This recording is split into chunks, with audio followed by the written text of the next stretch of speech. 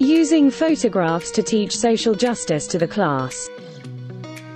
Through photographs, the students apply their knowledge about the immigration debate, thanks to the feelings these photographs elicit.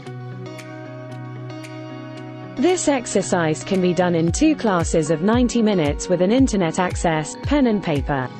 The class split in at least two groups and up to small groups of four.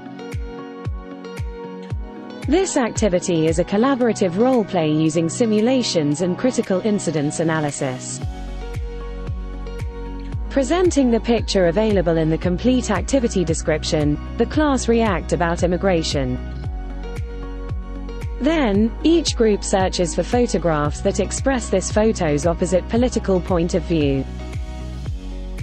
The students make a presentation showing how these photos show support for immigration. Then, each group prepares an essay from one of the photos found.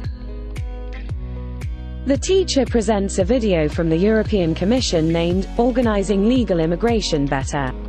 According to this video, the students start discussing about immigrants' integration and then debate about kyorking and living abroad without previous preparation by their parents.